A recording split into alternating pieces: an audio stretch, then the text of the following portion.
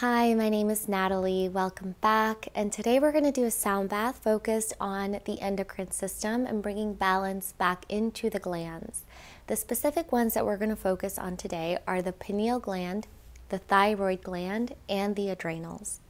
So, whenever you're ready, come into a comfortable position, laying down, sitting up, wherever you can be most comfortable. And bring your eyes to a close.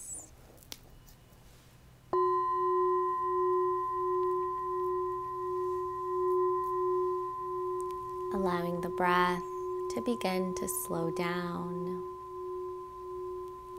As you inhale deeply, letting the breath travel to the bottom of the belly. And as you exhale, allow the body to relax into this space.